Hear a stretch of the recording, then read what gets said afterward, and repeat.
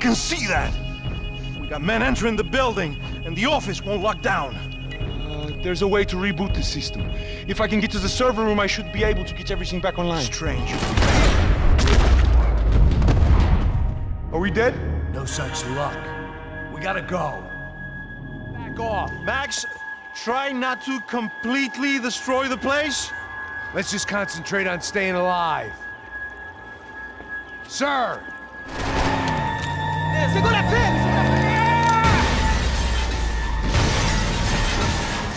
Picking the photo from the broken fragments, something caught my eye.